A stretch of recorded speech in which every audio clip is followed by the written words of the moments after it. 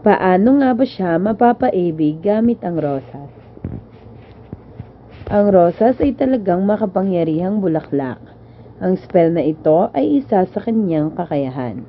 Kailangan mo lamang ng tatlong rosas, tatlong pulang kandila at lalagyan ng bulaklak o vase. Ngayon ay sindihan mo ng sabay-sabay ang kandila.